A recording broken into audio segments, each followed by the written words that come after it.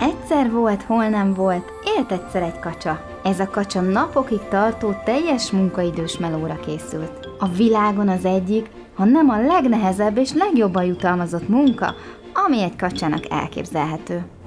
Hamarosan anyuka lesz. Ő csak ült és ült a fészkében, várva várta, hogy a kis tojásai kikeljenek.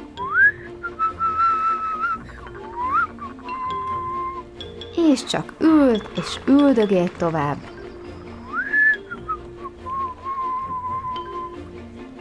Amíg végül azok a kis tojások elkezdtek kikelni, és a legaranyosabb kiskacsák megszülettek.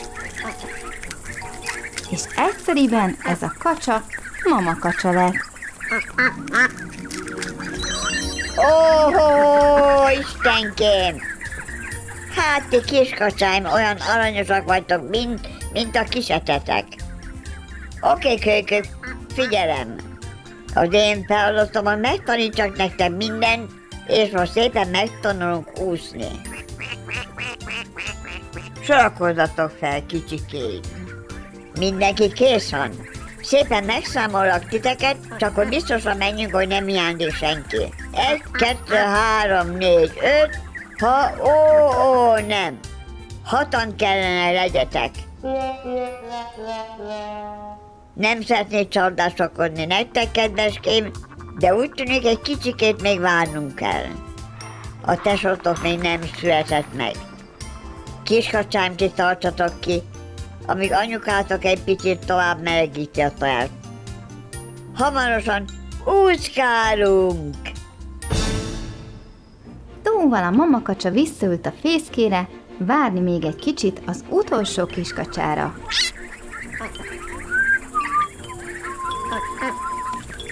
Ő csak ült és üldögélt, míg végül Szent húsgolyok! Te aztán rút kiskacsa vagy. Én még nem láttam olyan csúnya teremtést, mint te.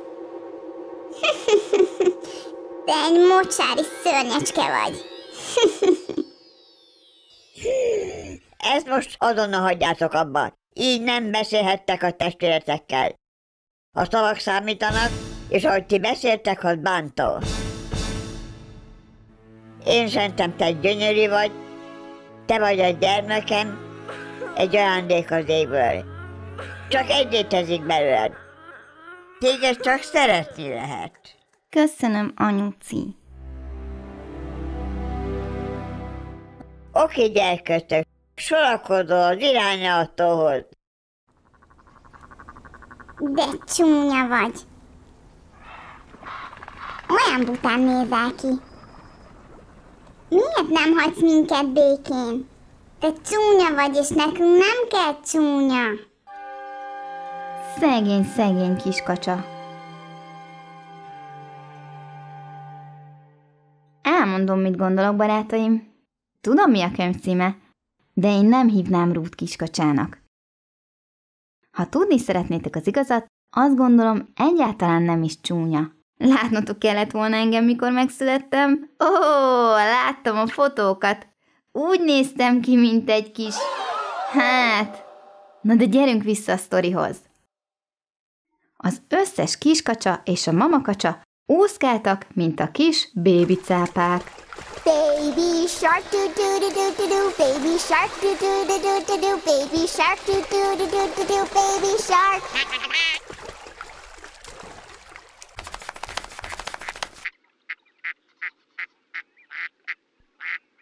Menj az utamból, furcsaság! Menj már odébb! Nem vágod? Menj már odébb! Mi nem akarunk veled beszélni. Nem hiszem el, hogy így beszéltek egy családtaggal. Ez nem szép. Ez szégyenletes, de tényleg. Szerintem te olyan szép vagy, gyermekem, az én kis ajándékom a mennyből. Te egyedi vagy, és én nagyon szeretek, kicsikém. Téged csak szeretni lehet.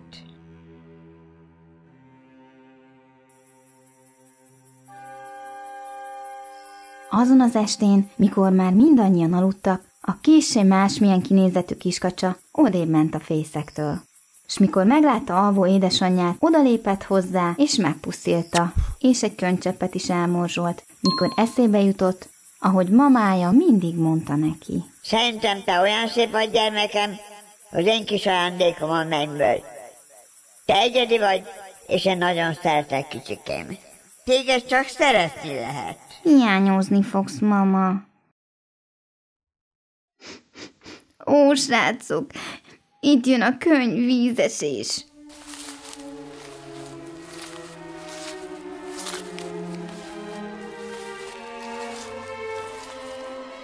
Szia, kiskölyök! Kati vagyok. Hozzád beszélek.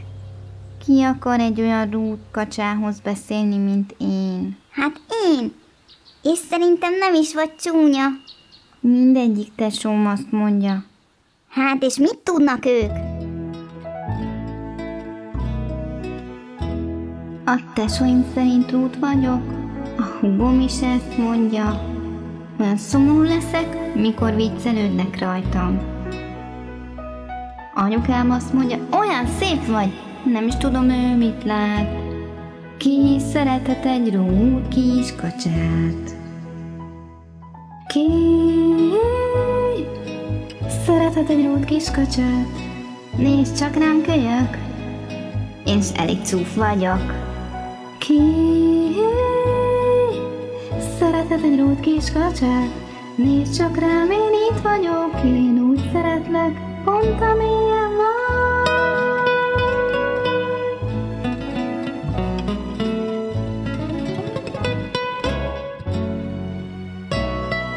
Ki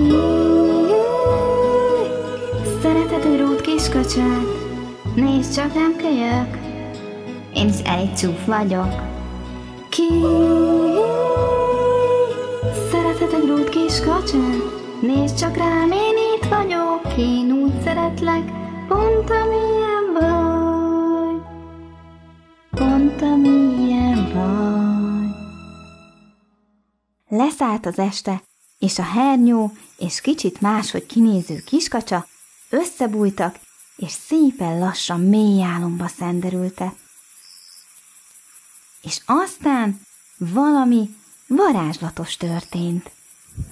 Én szerintem te gyönyörű vagy, te vagy a gyermekem egy ajándék az éből.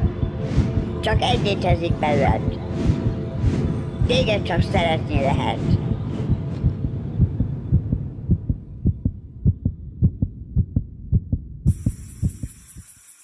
Kati, Kati, merre vagy? Gyere a folyópartra.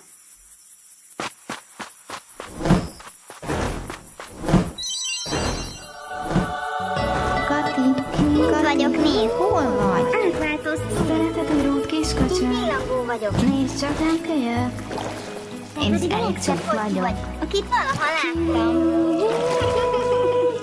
Szereted egy rút kiskacsát? Nézd csak rám, én itt vagyok. Én úgy szeretlek, pont amilyen vagy.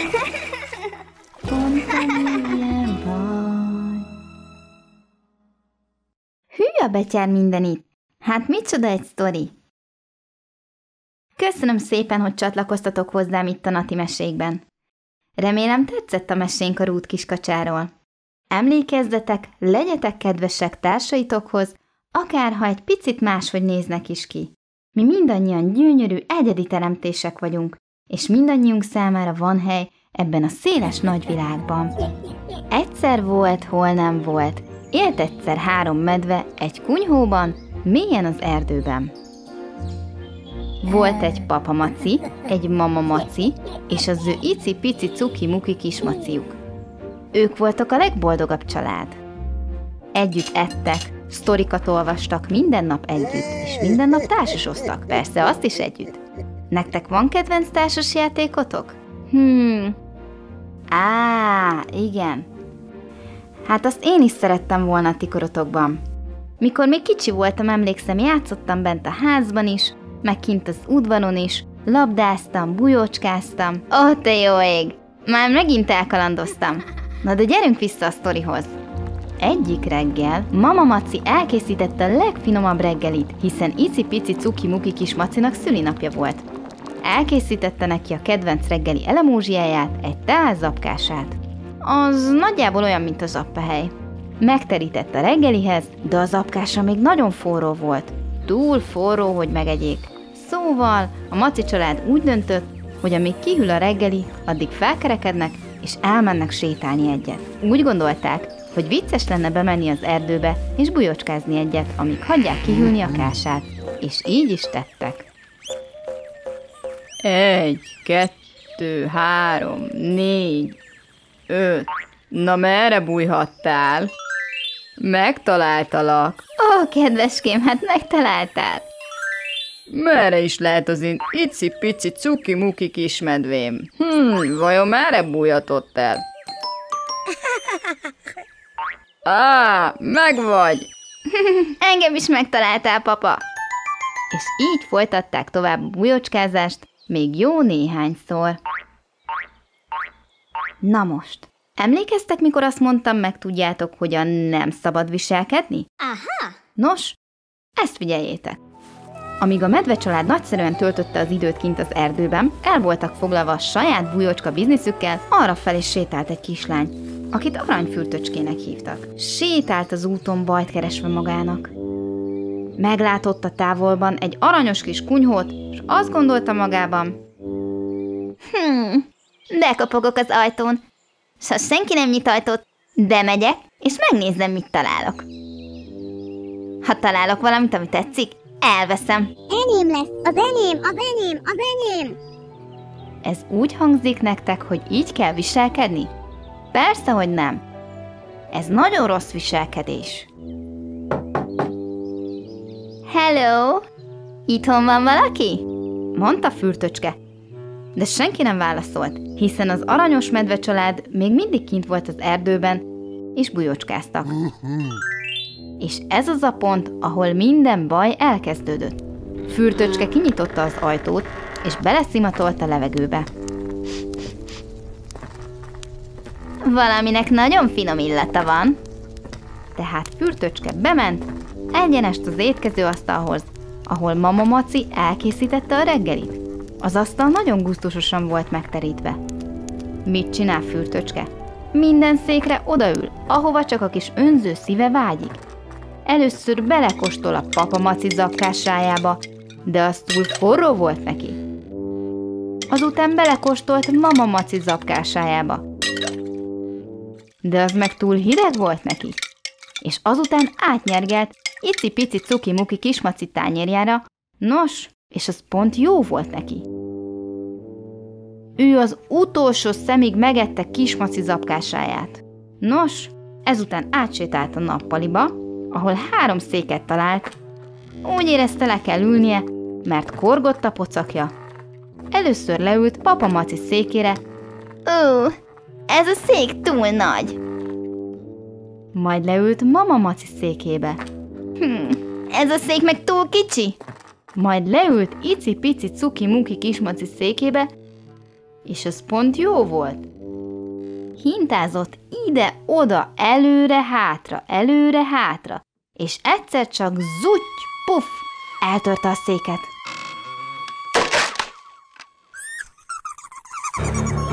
Ó, nem! Mit csináltál, fürtöcske? Már megint? Fürtöcske? Ó, nem! Törszi zúzol, fürtöcske? Nyomás haza! Zúzol, fürtöcske?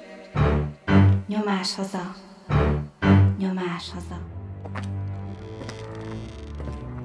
Az önző kisasszonyt feldúlta a baj, amit csinált, és úgy döntött, bemegy a hálószobába, ahol a három medve ágya volt.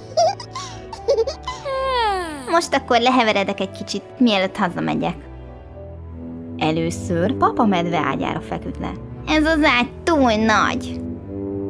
Azután mama medve ágyára feküdt le. Ez az ágy meg túl kicsi. És persze ezután az icipici cuki-muki kismedve ágyára feküdt, és mit gondoltok, mit mondott? Igazatok van. Azt mondta, Ez az ágy pont jó lesz nekem. és azzal fürtöcske álomba szenderült.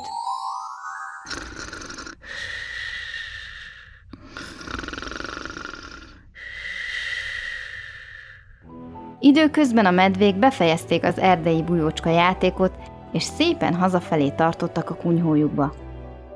Amint kinyitották az ajtót és beértek a konyhába, a papamaci felhördült. Valaki beleevett a zapkásámba. Aztán mama Maci is megszólalt. Valaki az én zapkásámba is belevett. Az ici-pici cuki-muki kismaci sírva megszólalt. Valaki az én zapkásámba is belevett, sőt megette az egészet. A három medve megérezte, valami nincs rendben itt.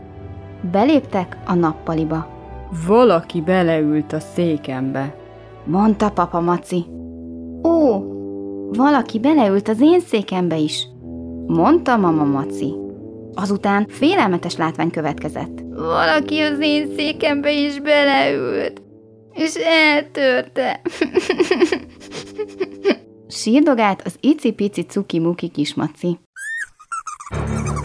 Ó, nem! Mit csináltál, fürtöcske? Már megint? Fürtöcske? Ó, nem! Törsz és zúzol! Fürtöcske? Nyomás haza! Nyomás haza! Nekünk itt problémánk van, kérem szépen. Bajt szimatolok.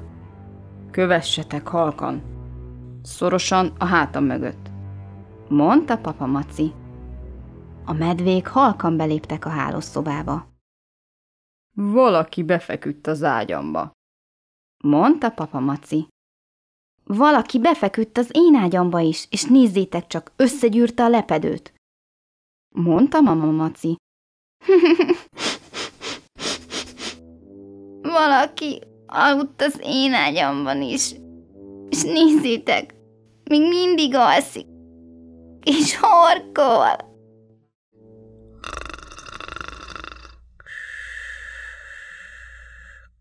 A medvék úgy begurultak, hogy kiengedték mély medve üvöltésüket. Az üvöltés olyan hangos volt, hogy nyomban felkeltette fürtöcskét. A rossz kislány úgy megijedt, gyorsan kiugrott az ágyból és kirohant a házból olyan gyorsan, amilyen gyorsan csak tudott.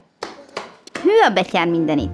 Nem tudom, ti mit gondoltok, de én soha nem mennék be hivatlanul valaki másnak a házába.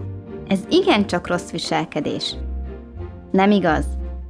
A medvék szóltak és telefonon fürtöcske anyukájának, és úgy hallottam, a szülei ezután elvették a mobiliát és a tabletjét is. Több hétre is.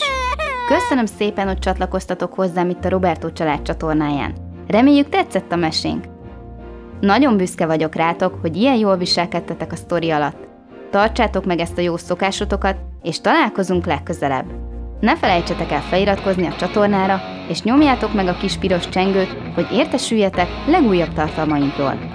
Sziasztok! A következő mesénkig!